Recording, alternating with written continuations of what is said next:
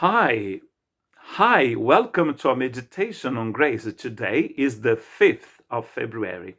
I would like to read in Ephesians chapter 4, verses 4 to 6. There is one body and one spirit, just as you were also called to be to the one hope of your calling. One Lord, one faith, one baptism, one God and Father of all, who is above all and through all and in all. And we can put these verses from 6 to 4 because that's the way we see our God God the Father, God the Son, God the Holy Spirit. There is no way you can destroy God. So, if you cannot destroy God, you cannot destroy his family. And we have seen over the, the centuries that the world, the different systems, different people who are all dust now, they just they tried to destroy the church. As Paul is saying here, there is one God, and this God is above all. He is the, the one who created, who invented the church. It is written in Ephesians chapter 1, verses 3 and 4, that we were blessed with, all sorts of blessings in the heavenly places.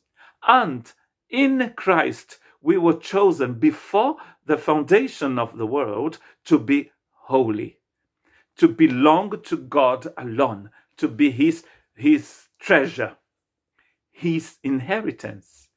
And in verse 5, it's written that there is only one Lord, one Father, one Lord, one Jesus Christ, one church.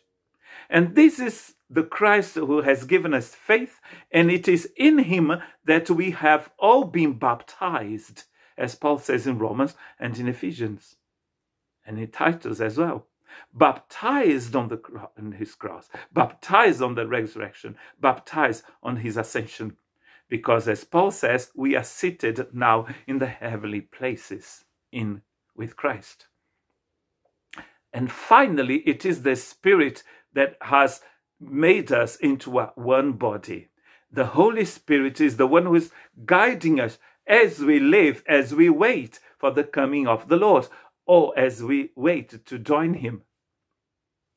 And Jesus said in the Gospels that the gates of hell shall not prevail against the church.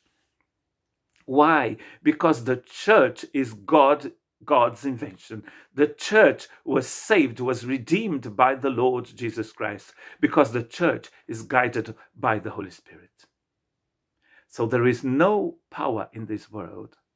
Nobody can destroy the church of Christ saved by grace, we are kept in Christ by the Holy Spirit.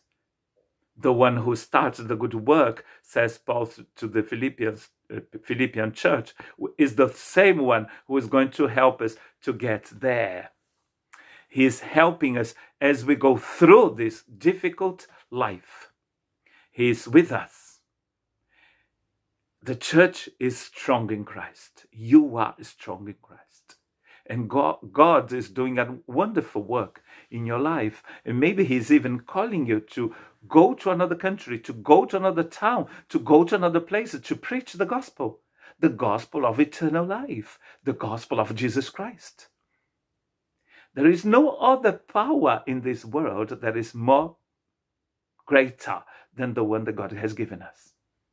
So nobody can destroy this church because nobody can destroy our God Father, Son, and Holy Ghost. God bless you.